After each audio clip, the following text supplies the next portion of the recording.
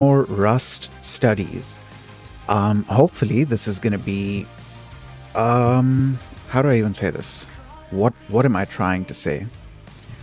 Hopefully, this is going to be one of the last. I, I don't think it's going to be one of the last ones, but hopefully, it's going to be one of the last uh, Rust study streams where you know I'm studying stream. Oh, studying streams? No, where I'm studying Rust and uh, hopefully um, the next if i mean th- there's probably going to be a rust stream again later on but hopefully the next one that you see is going to be me working on something in rust.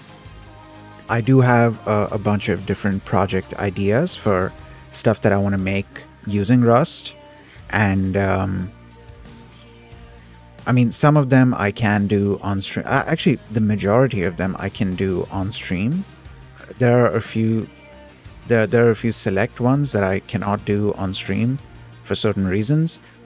Um, but the ones that I can do on stream, I'm going to do them on stream. And I got, I got an idea.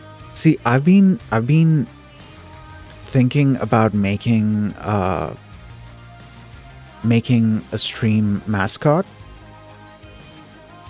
And eventually, I do want to let the mascot. How do I say this? Eventually, so I want to I want to hook up an LLM, a large language model, to the mascot, so the mascot can then have conversations with me, uh, maybe with chat, maybe I don't know. I'll see. I'll see where what direction I want to take that in. But I had an idea. I was like, okay, instead of implementing it in in uh, in Unity, what if I tried to implement it in Rust? Though the thing is, I'm still gonna have to do the majority of the AI related stuff in Python, unless I want to start implementing a bunch of the stuff in Rust, which I really don't want to do because uh, there's a bunch of other things that I'm going to be implementing in Rust, and you know I'm going to have my my work cut out for me doing that stuff alone. I don't want to add add to that the load of uh, having to implement certain AI models in Rust. I mean, for the sake of learning, yeah, sure, I would love to do that, but when it comes to when it comes to let's say production ready models, there are already models out there that you can use. Maybe production ready is not the best it's not the best term to use, but just much more mature models or rather I should say probably better models than what I'm going to make for specific purposes. They already exist. And I can have access to them through the transformers, the Hugging Face transformers library. And um, yeah, I would rather use those. And it's so much easier to do that, to do all of that through Python. There will be some ML stuff that I want to do through Rust uh, for the sake of for the sake of learning, and I'm going to do it. But when it comes to stuff like, for example, the the mascot, I I was wondering if I should try and implement it in Rust. At least, okay. So I guess it would be uh, I guess a better way to put that would be I want to implement the rendering logic for the mascot program in Rust because I want to keep the mascot as, as a separate program and my VTuber app as a separate program. And then at some point in the future, if the need arises, I can I can like merge them together. But for the, for the time being, I want both of them to be separate. One of the advantages of that is going to be it, that it's going to be on a whole separate thread the entire thing is going to be running on a separate thread. Now, because I'm going to be doing it in a completely separate process, I was wondering if I if if it needs to be in Unity or if I can get away with doing it in Rust. I feel like it would be a fun project to try out as well. And who knows, maybe doing it in Rust, I might be able to make um, a much a much more lightweight program? I guess I guess I'll have to find out. I guess I'll have to find out. Cuz like okay, doing it in Unity there will be a lot of benefits, For example, if I wanted to do something like animation, there's a there's a animation rigging package in in Unity that lets you create an entire rig within the Unity editor itself. So like you don't have to build it in Blender and then bring it in. You can create the thing in Unity itself. That's actually that's actually something that I want to explore at some point. Maybe maybe in one of the future streams I can I can explore uh, the animation rigging package. Uh, who knows if it's small enough, I might be able to finish the whole thing in one stream because I, I do need to explore that because I want to use the animation rigging package on both my own uh, VTuber model and also on the mascot. And uh, well, learning about it can be beneficial for various things, not just my VTuber model and for the mascot. But yeah, um, that's that's one of the ideas I had. There's there's a bunch of other ideas I have as well for stuff that I want to do with Rust. Anyways, um, today what we are doing is we are going to be reading up on lifetimes in in Rust. I'm trying to understand the concept of lifetimes, where you are able to specify.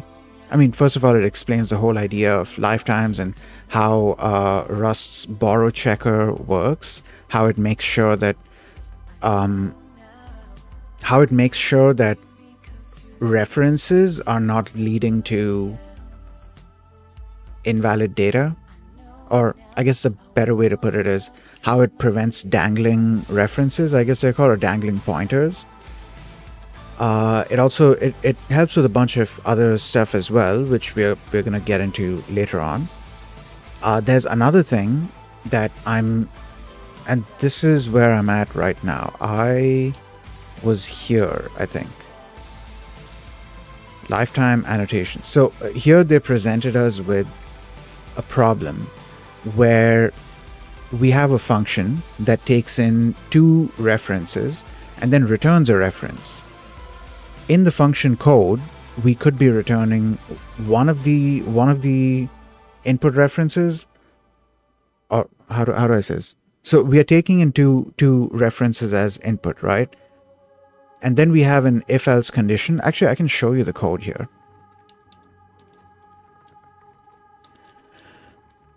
Yeah, here. So apparently this creates a problem. Um, I think the problem that it was mentioning is that the borrow checker doesn't know which, it, it doesn't know how long these references are going to be alive or how how long whatever they are referencing is going to be alive. So it, it doesn't know how long that data is going to live. And so trying to return that is causing an issue. Now, to be honest, I haven't fully grasped the concept of what is going on over here. I've only kind of gotten an idea. Like, okay, we can read this again. Uh, it says the help text reveals that the return type needs a generic lifetime parameter on it because because Rust can't tell whether the reference being returned refers to X or Y. Actually, we don't know either because the if block in the body of the function returns a reference to X and the else returns a reference to Y when we are defining this function, we don't know the concrete values that will be passed into this function. So we don't know whether the if case or the else case will execute. We also don't know the concrete lifetimes of the references that will be passed in. So we can't look at the scopes as we did in the previous examples to determine whether the reference will return, whether the reference we return will always be valid. The borrow checker can't determine this either because it doesn't know how the lifetimes of x and y relate to the lifetime of the return value. Uh, to fix this error, we add generic lifetime parameters that define the relationship between the references so the borrow checker can perform its analysis. See, I read this and I, once again, I've only kind of understood what the problem is here I haven't fully understood it. I'm going to need to implement a couple of examples myself to get an idea of like exactly what is going on. Actually, I don't think I'm going to be able to implement examples because uh, the code just doesn't compile. Like the compiler is going to give an error saying that, you know, there's so and so issue. Um, maybe I need to read up on. Okay, you know what? We can follow this. So, okay, to solve this, one of the solutions that was uh, suggested is using something called the lifetime annotation. Um, should I reread this? Yeah, you know what? Okay, so I was supposed to be reading from here, but instead I'll I'll start reading from here. I've already read this, but like I feel like I, am I'm I'm gonna need to go over this a couple a couple times. Uh, I in fact, I think I'm to be coming back to this page a couple times again later on, just so I can understand the idea here. Because, look, I understand the idea with uh, with references, and I understand that um, a reference can can lead to how do I say this? A reference can lead to invalid data. A reference can can unintentionally point to data that is uh, no longer valid. A perfect example, uh, which I'm going to recreate here, which they actually showed it here in on this page early on in, this page. I'm going to recreate it here. So they had presented it in the following way. Let me actually let me comment all of this, or I, I can I can delete all of this. Okay, so let's say we have uh, we have a variable a. Okay, uh, it hasn't been assigned, and let's say in here we create another variable b, which is equal to this, and then we say a is equal. Yeah, we say a is equal to uh, a reference to b, right? And then we go out of this. What is it? Print line. Uh, yeah. So then we try to print out A. Now, if I save this, and if we give it a little bit, an error should pop up here saying that uh, this is basically what we are doing here is we are we are creating a dangling reference or a dangling pointer there you go so it says uh, it says the borrowed value does not live long enough. That basically what's happening here is we've created this code block right? And according to the ownership rules once it goes out of scope it's it's invalid. However here, I'm creating a reference to this variable, but for I'm, storing that reference into a variable that has been that has been declared or defined in an outer scope, not within the inner scope, right? So later on in the outer scope, when I try to reference this, it's going to be leading to well nothing because the data doesn't exist. I'm not sure exactly what it's going to be leading to, but like I guess the best way to put it would be that the behavior is undefined there. Uh, and also it's not going to let you it's not going to let you do this because you know there's this issue it's not going to the code is not going to compile in the first place why was i explaining this i forgot why i was explaining this okay well Yeah, I forgot why I was explaining this. Give me a second. I need to grab something and also hydrate. And I will be back in like 10 seconds.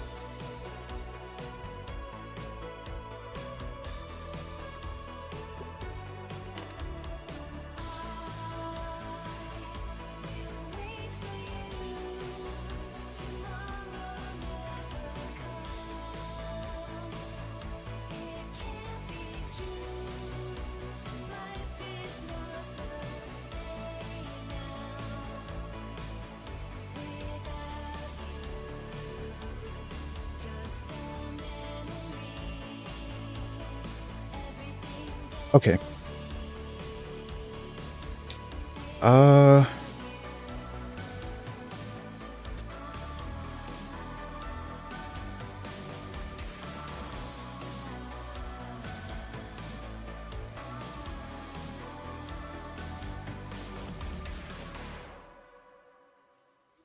Okay. So I forgot why I was explaining the, the dangling references thing, the dangling pointer thing. But we're gonna we're gonna go into the lifetime annotation syntax. So uh, lifetime annotations don't change how long any of the references live, rather they describe the relationships of the lifetimes of multiple references to each other without affecting the lifetimes. Just as functions can accept any type when the signature uh, specifies a generic type parameter, functions can accept references with any lifetime by specifying uh, a generic lifetime parameter.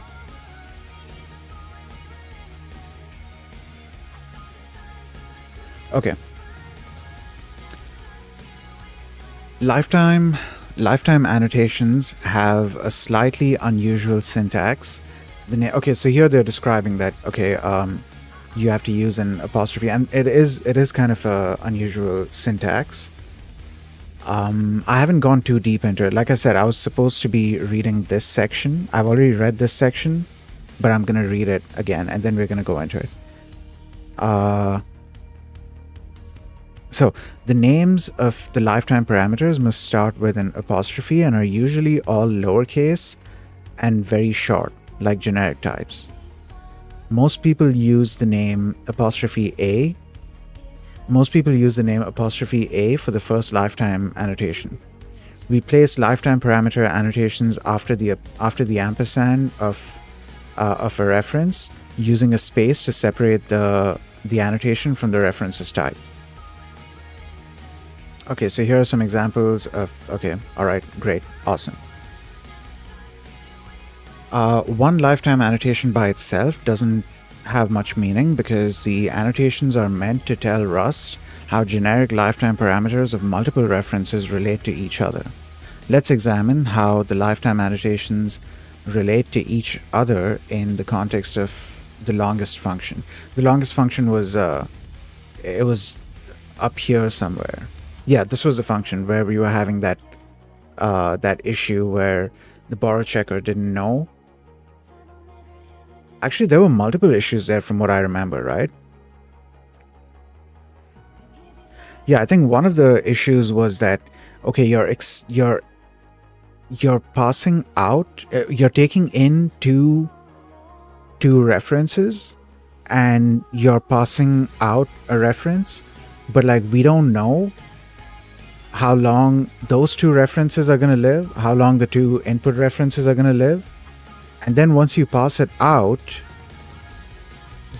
you don't know whether what's being passed out is actually going to point to something valid. Okay. Uh, where were we? Here. Here. Okay. Actually, no. Here. So now we're going to look into um, lifetime annotations in function signatures.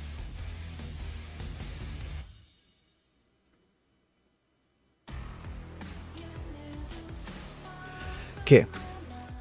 To use to use lifetime annotations in function signatures, we need we need to declare the generic lifetime parameters inside angle brackets between the function name. Okay, it's describing it over here. So you kind of you kind of do it like uh, how you would be uh, oh yeah, I think they also mentioned that you you do it similar to how you do generic uh, generic types. Man, for how much I tried to avoid doing generic stuff, I ended up doing generic stuff. Like I was trying to avoid getting into generics in Rust, but a bunch of the examples they they brought things back to generics and that kind of told me that like it is just as important because like okay it I, I feel like it becomes it becomes even more important when you are writing a library, when you're implementing your own uh, when you're implementing your own library that's supposed to be reusable by others. Whereas if you are just using other people's libraries, you are m- most likely going to be using generics, not implementing the generics yourself. Okay. Uh, where was I? We need to declare uh, the generic lifetime parameters inside angle brackets between the function name and the parameter list, just as we did with generic type parameters. We want the signature to express the following constraint. The returned reference will be valid as long as both the parameters are valid. Oh, that's interesting. That's what this is. That's what this is. That's what this is uh, specifying. I didn't realize that. So that's how it's enforcing this uh, this relationship. Okay, uh, this is the relationship between lifetimes of the parameters and the return value. Wait, let me read that again. We want the signature to, to express the following constraint. The returned reference will be valid as long as both the both the parameters are valid. So just specifying this just specifying this tells the compiler that yeah, it's going to be valid. How how does it get enforced though?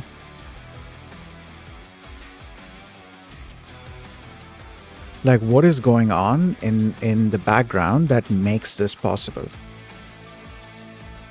Okay, uh, this is the relationship between the lifetimes of the parameters and the return value. We'll name the lifetime uh, apostrophe A and then add it to each reference. All right, okay. Have I done that in my code? Let me just go back here. Where is it? Oh, I don't think I've done it. Okay. So we can take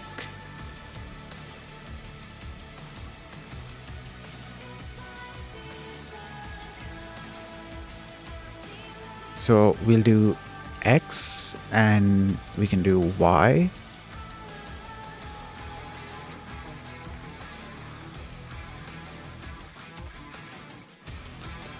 And then we will return an I32 as well. Okay.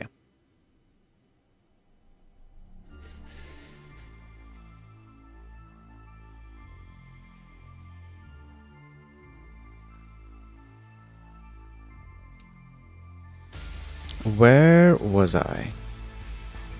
Here, right? This code should compile and produce a result we want when we use it with the main function. The function signature tells Rust that for some lifetime apostrophe a, uh, the function takes two two parameters, both of which are string slices that live at least as long as the lifetime, uh, apostrophe a. The function signature also tells Rust that the string slice returned from the function will live at least as long as apostrophe a. In practice, it means that the lifetime of the reference returned by the longest function is the same as the smaller of the lifetimes of the values referred to by the function arguments. These relationships are what are what we want Rust to use when analyzing this code. Remember, when we specify the lifetime parameters in this function signature, we are not changing the lifetimes in, of, of any values passed in or returned. Rather, we are specifying that the borrow checker should reject any values that don't adhere to these constraints. Note that the longest function doesn't need to know exactly how long x and y will live, only that some scope can be substituted for apostrophe A that will satisfy this signature. Okay, so real quick, I'm still not sure how how that is solving the problem. Like how is that being enforced? I think I need to keep reading to find that out. okay, when annotating lifetimes in functions, the annotations go in the function signature, not in the function body. Um, the lifetime annotations become part of the contract of the function, much like the types in the signature. Having function signatures contain the lifetime contract means the analysis, the code, no, the analysis the Rust compiler does can be simpler. If there's any problems with the way a function is annotated or the way it's called, the compiler errors can point to the to the part in our code and the constraints more precisely. If instead the Rust compiler made more references, no, what? Made more inferences. If uh, instead the Rust compiler made more inferences,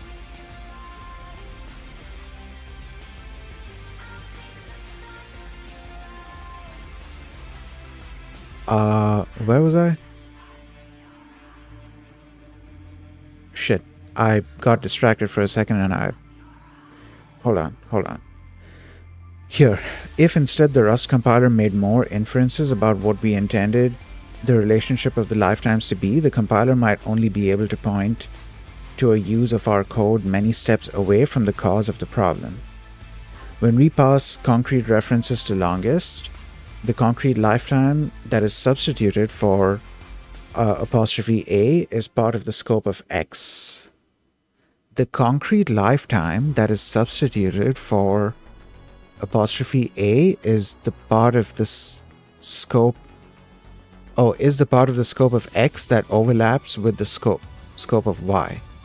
In other words, the generic lifetime apostrophe A Okay.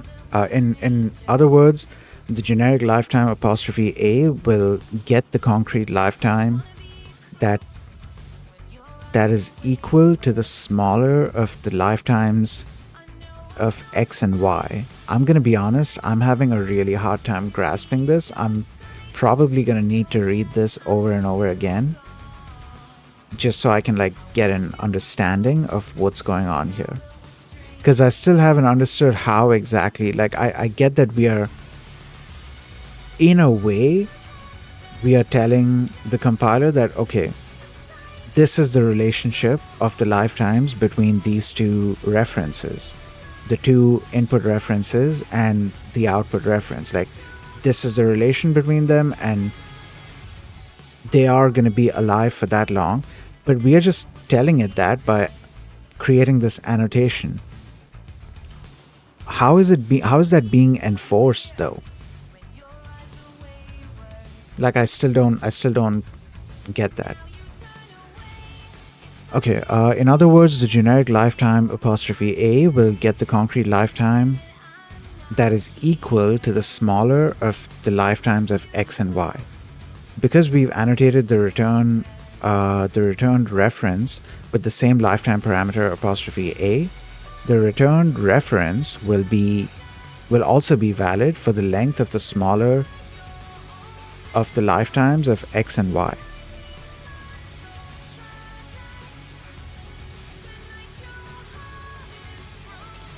Uh, let's look at how the lifetimes annotation, how the lifetime annotations restrict the longest function by passing references that have uh, different concrete lifetimes. All right, cool. So here we create a string um, and then we create another code block in here we create another string and then result equals longest this and that and then we print result uh okay so i'm gonna recreate this example with how was hold on what was the code here Okay, so we measure the length, right? Okay, right. So, how do we get? I think I think we dereference it, right? Okay. All right. So, if x is greater than y, then we return x. Why is that not working? Oh, it's supposed to return a reference. Okay. All right. So then we return x, else we return y. Now, are we getting any errors here? No, we are not. Though, there seems to be an issue here. Remove these parentheses. Oh, okay. In Okay, so in Rust you can get away with not having the parentheses. Okay, cool. I feel like I'm going to be making this mistake quite a few times until until I've gotten more comfortable with with doing Rust code. All right, so we have A over here. Let's give A a value of 10. And then in here, we give B a value of 5 and oh crap, I missed the add timer. That's probably going to be an ad starting soon. Okay, so uh, then we do let C equals um, longest and then we want to pass in references to A and B. Now, does that work? Yes, that works. Okay, great. Oh no, it's not called longest. It's called, my method is called sum01. Awesome, great. So now when I print, when I'm printing C,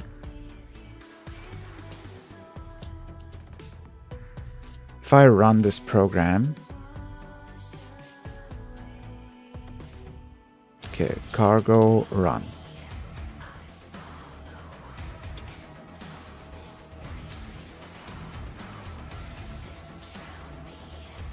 All right, there is an ad playing, so I'll see you guys in 30 seconds. I'm going to take a little hydration break.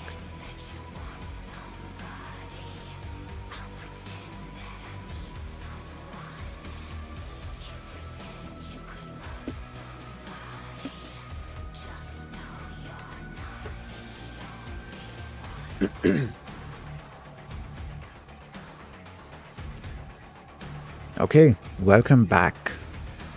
So um, I ran the code and the code works perfectly fine. Here we have um, we have the value of a being returned. Now, what is the example trying to show us? This code should compile and produce the result we want when we use it in when we use it with the main function. The function signature now tells Rust that for some lifetime apostrophe a, the function takes two parameters, both of which are string slices that live at least as long as lifetime apostrophe a.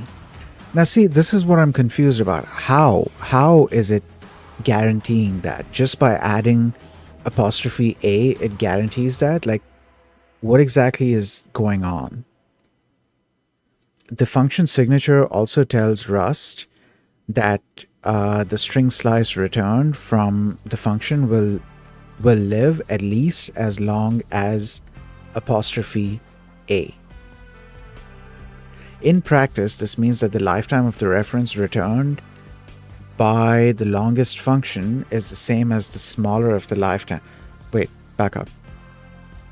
In practice, it means that the lifetime of the reference returned by the longest function is the same as the smaller of the lifetimes of the values referred to by the function arguments. Okay, these relationships are what we want Rust to use when analyzing the code. Remember, when we specify the lifetime parameters in this function, in this function signature, we are not changing the lifetimes of any values passed um, any values passed in or return. Rather, we are specifying that the borrow checker should reject any values that don't adhere to these constraints. Okay. Okay. Okay, so what would happen here if... Now, I need to find a way to I need to find a way to break this. Now, how do I, how do I create an example that's going to break this?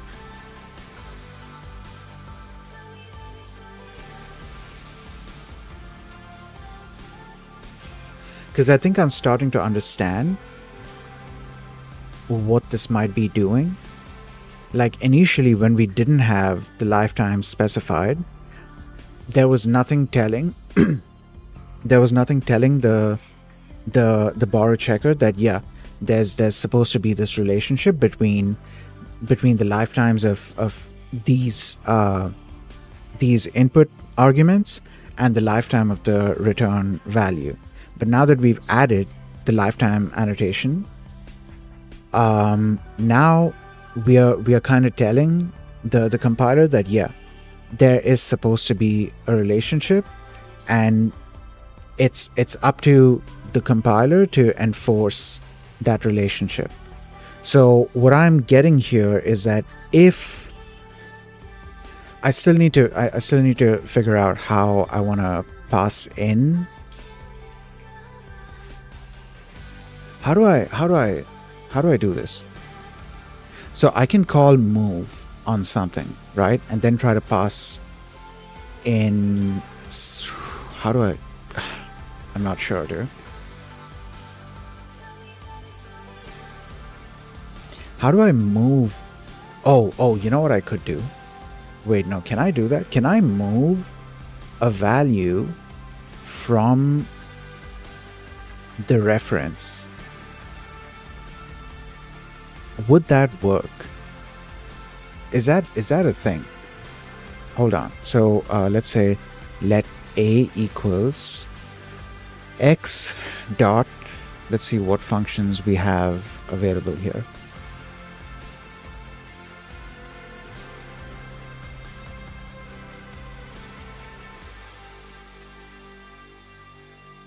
okay, we don't have a move necessarily.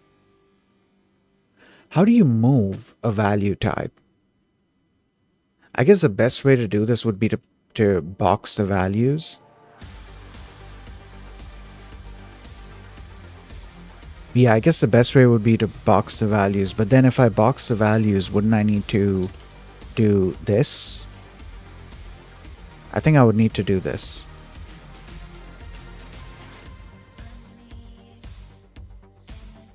Yeah. So then this is going to be stored on the heap. And, uh, well, this also returns a box. Oh god, okay, that's not working. So what does this say? Expected reference uh, found unit type. How did it find a unit type?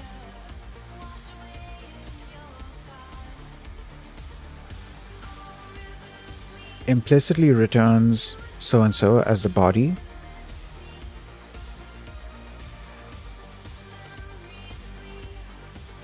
Oh, is the issue that I'm not return? Well, no, I mean. Okay, let's get rid of that. Are we good now? Oh, okay, all right. So uh, now I'm making these uh, reference types explicitly. So then here I would need to do box um, new and then pass in this. And then here I would need to do box new and then pass in this. And now it should be valid. Okay. Now, how how would I break this? So we have a reference, right? Now, how do I, okay.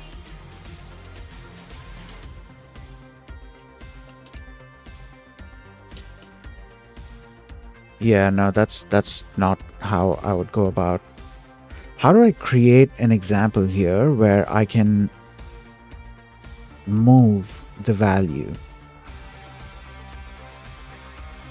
What, what happens what happens if I dereference this? If I dereference it,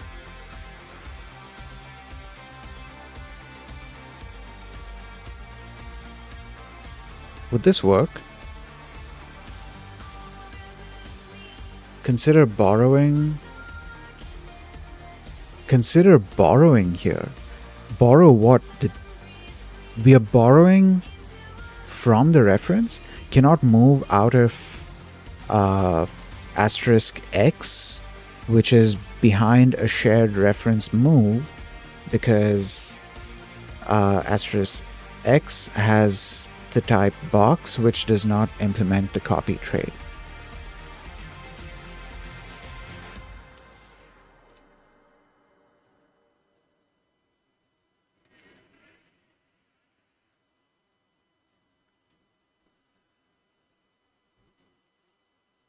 man, I'm I'm really trying to break this, but it seems like they've thought of, you know, I mean, to be fair, I'm still a pretty new programmer to Rust. I'm still like very, very much a beginner. I'm like the B of beginner. Like that's how much of a beginner I am in Rust. Um so like there's there's probably still ways to break this, but like the simplistic examples that I'm able to come up with, um, hold on, am I even doing this right? I need to, I need to test this out here. Uh, let's get rid of this. Okay, then let's do let's C equals B. Okay, that works. And now what would happen if I try to do this? See, this confuses me because it's not giving an error. What happens if I run this?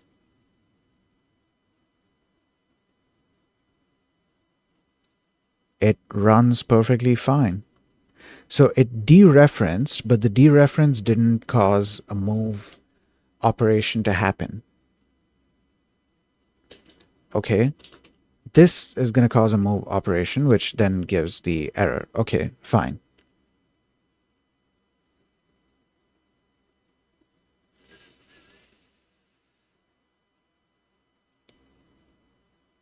Am I using the dereference operator wrong? I think I might be using the, the dereference operator wrong. Give me a second. Because as far as I know, the dereference operator is supposed to it's supposed to give you the value that's pointed to by that reference. Oh, it's supposed to give you the value pointed to by a reference.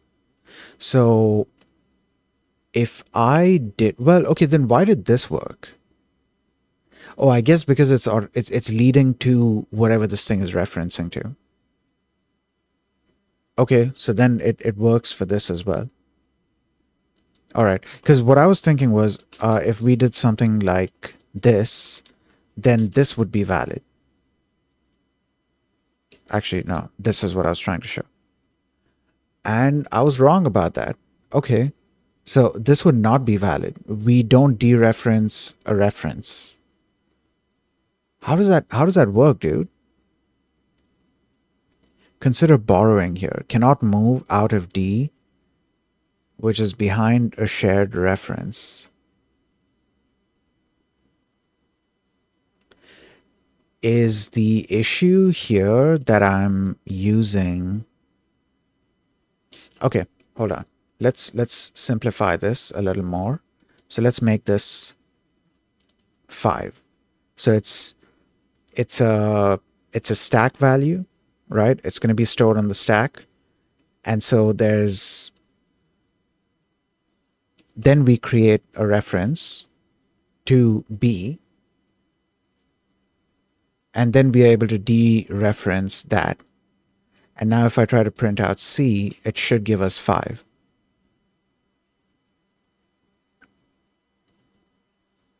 Okay, that works.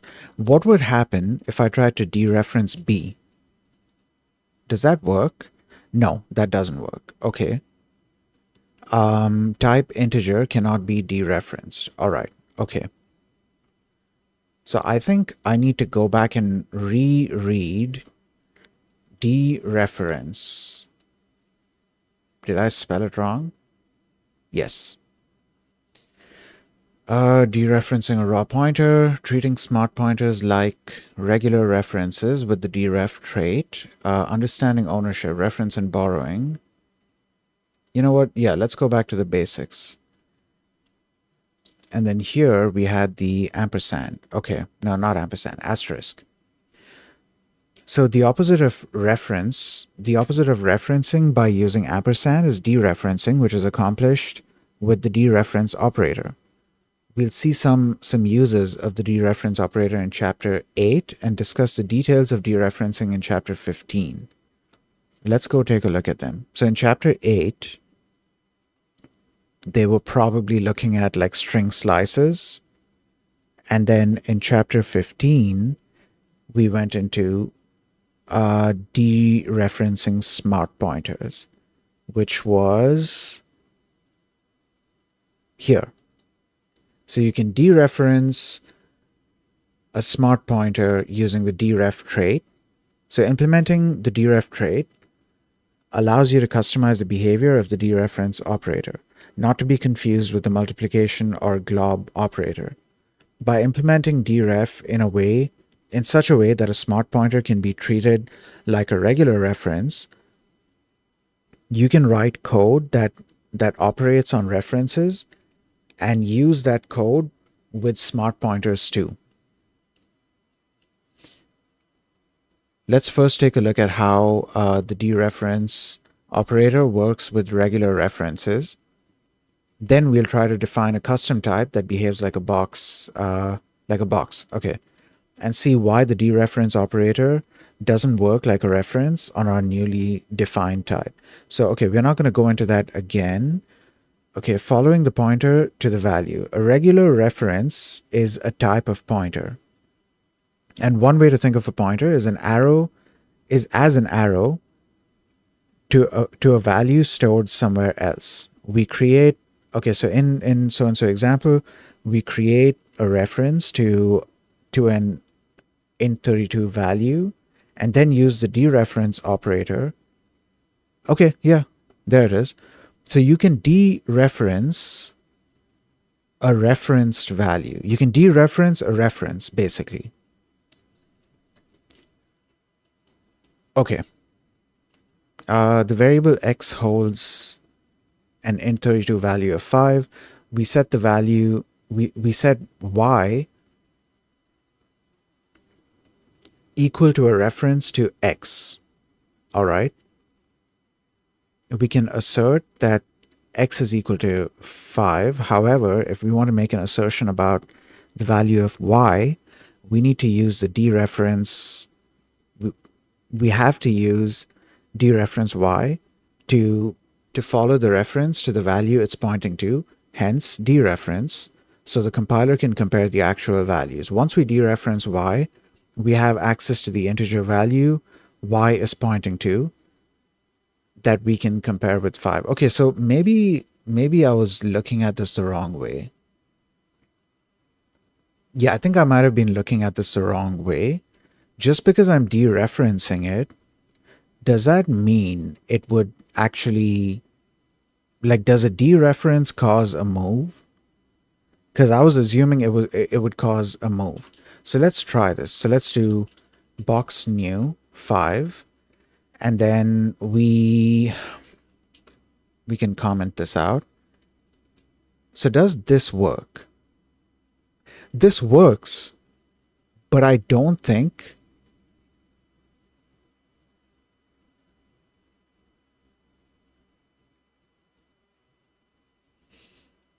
Okay, so this returns oh, hold up, this returns a reference. This returns a reference. This doesn't return the value itself. I'm glad that this thing is shown over here. Uh, and I hope I'm right about my guess of what's going on here. But I'm taking a guess here that it is it is returning a reference to the value. It is not returning. How do I say this? It's returning a reference to the value. It is not moving.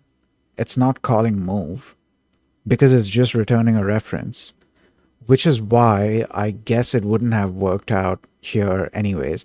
Now, how do I, how do I force this to move? I think like the only way that I can think of to force it to move is this. Now, once I do this, would, would I be able to access B? No, because B is now invalid. Okay, so let's try that again then. So we move B. No, okay. Wait. How do I force this to to move? Or let's say I have how do I force a reference to move?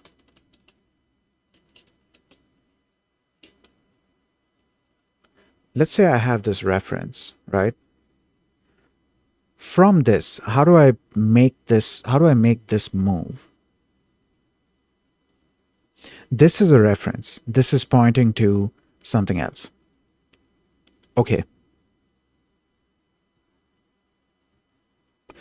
Give me a second. I just realized the music must have stopped. Uh, by the way, shout out to the Birthday Massacre.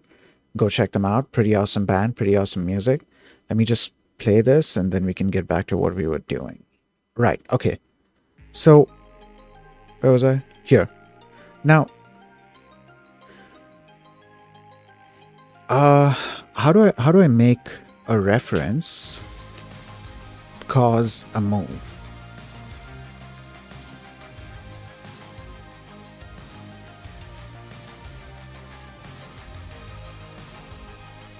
Okay, let's let's do something silly here. So let's do sum02. Okay, we have sum02 already. Uh, let's take in a box N32.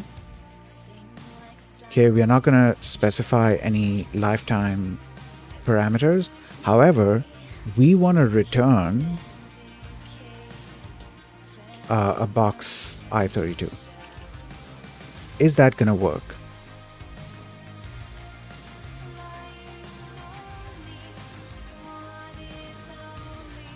Missing lifetime specifier. Uh, this function's return type contains a borrowed value with an elided lifetime. I'm not even sure how to pronounce that word. Uh, but the lifetime cannot be derived from the arguments. Okay. All right. Uh, let's create the lifetime. Um, how was I supposed to go about this? Is it like this? Or is it like this? Okay, hold up. So,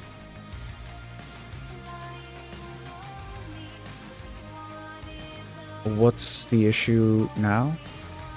Expected a reference, found you. Oh, yeah, okay, so I need to return this. Right. So what I'm trying to do here is okay I'm gonna return I'm gonna return A I'm gonna return a reference to A is that gonna work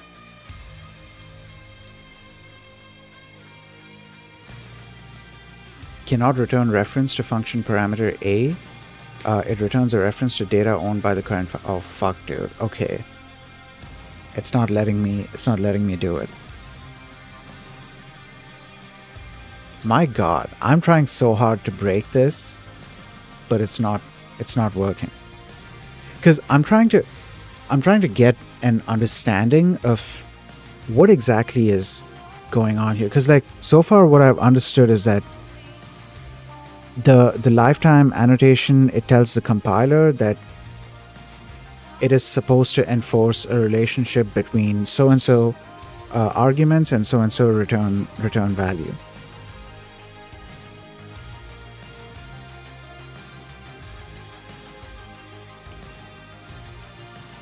right but like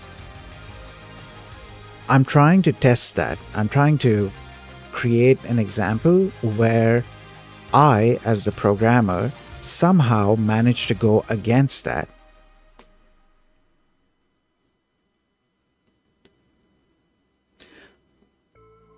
Well, I guess in a way that's what I'm doing here, isn't it?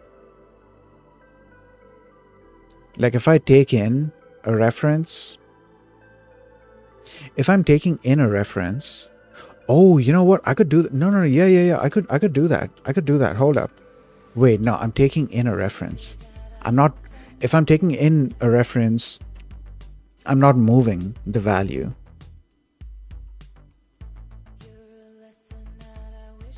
That's the whole idea with a reference. I'm not moving the value, right?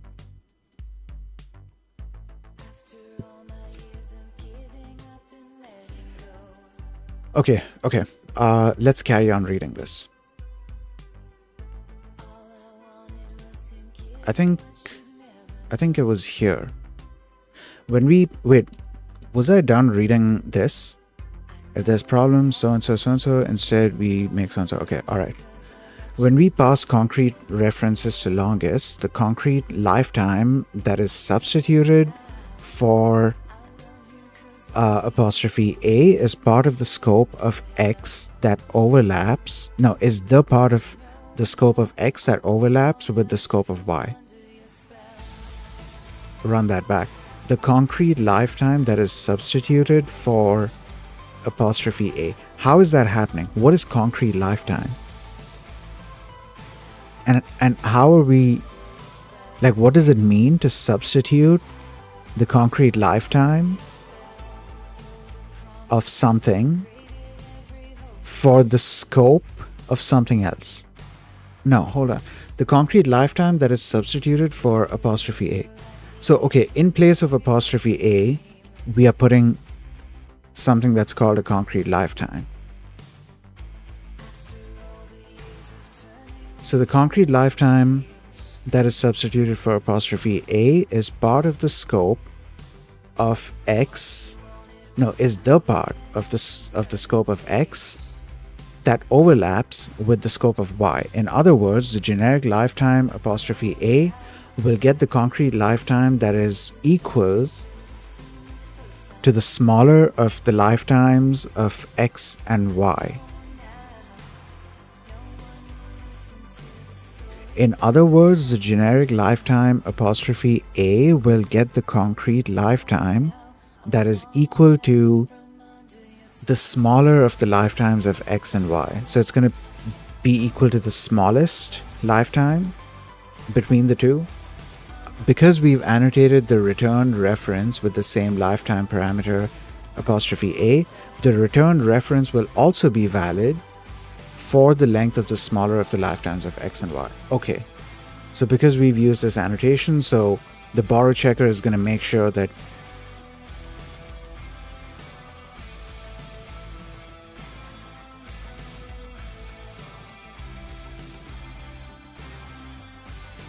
Give me a second.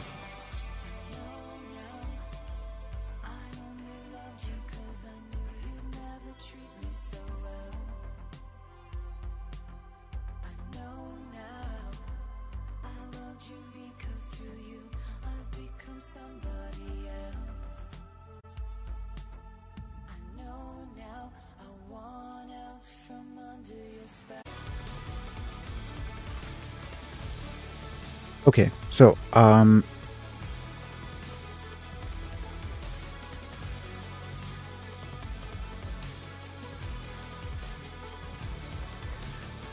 Uh